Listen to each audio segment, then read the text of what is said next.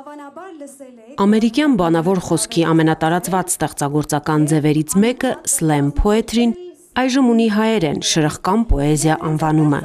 Տարբերակը դոգմա ռոք խմբի վոկալիստ Զարա Գևորքյանինն է, հենց նա էլ մտածել է ամերիկյան slam պոեզիան փորձարկել Հայաստանում։ Նախ եւ առաջ ես ուզում եմ ասել շնորհավոր մեր մասնակիցներին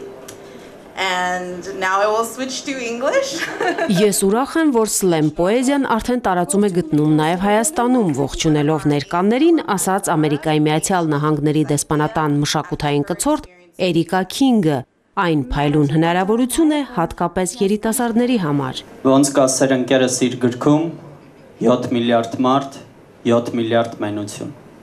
Ապտակ Զարա Գևորքյանի հետ գրող Վիոլետ Գրիգորյանն ու ռեժիսոր Վահան Բադալյանը մի քանի ամիս նախագծին մասնակցած երիտասարդներին օգնել են յուրացնել շրխկան պոեզիայի կանոնները, չվախենալ իրենց հուզող տարբեր թեմաների ու հարցերի մասին բարձրաձայն խոսել, ասելիքը գեղարվեստականացնել, տիրապետել բեմարվեստի ամենակարևոր գաղտնիքներին։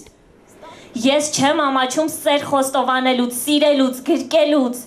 Ես ամաչում եմ մի բռաչափ սեր չունեցող մարդկանց մեջ մնալուց։ մեր երիտասարդները դեռ դպրոցական տարիքից իրենց ասելիքը, այն ինչ որ խնդիրները, որոնց որոնք իրենց հուզում են, իրենք հարթակ չունեն դրանք արտահայտելու մեծ առումով։ Իսլամ պոեզիան թույլ է տալիս հենց պոեզիայի լեզվով կարողանալ խոսել իրենց խնդիրների մասին եւ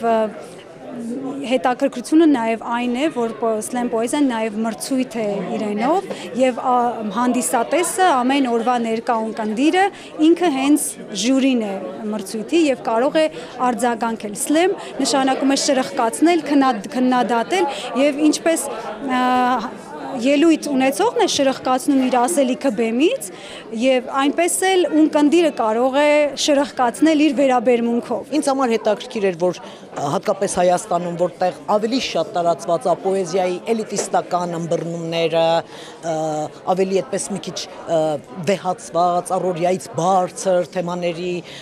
թեմաներով ստեղծագործելու այդ պատկերացումը մի տեսակ կյանքին մոտեցնելու փորձ, փորձ է այս սլամ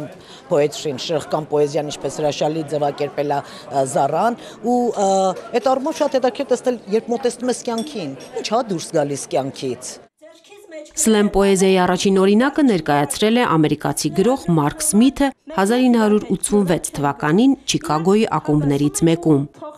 Հաճախ պոեզիայի այս տեսակը անվանում են նաև ստեղծագործական մենամարտ, որին մասնակցողը տաղանդավոր լինելուց բացի պետք է քաջություն ունենա ասել բաներ, որոնց մասին լռում են մյուսները եւ լսել դրանց անմիջական արձագանքը։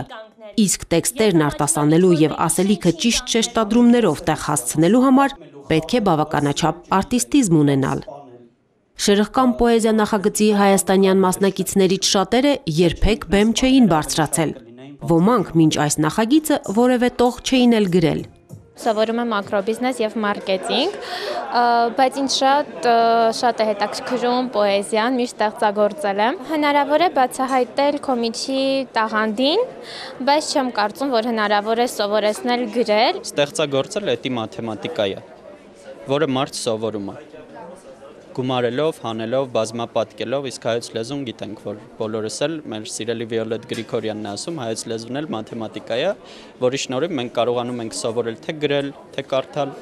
Շրխկան պոեզիայի երեկոյին հանդիսատեսը լսեց 13 մասնակցի խտրականության, անձնական տարապանքի, ազատության պատրանքի եւ այլ մտածումների մասին ելույթներ։ Նախագծի հեղինակները վստահ են, որ սա մի մեծ շարժման սկիզբ է եւ շուտով կընդգրկի նոր հարթակներ ու մասնակիցներ։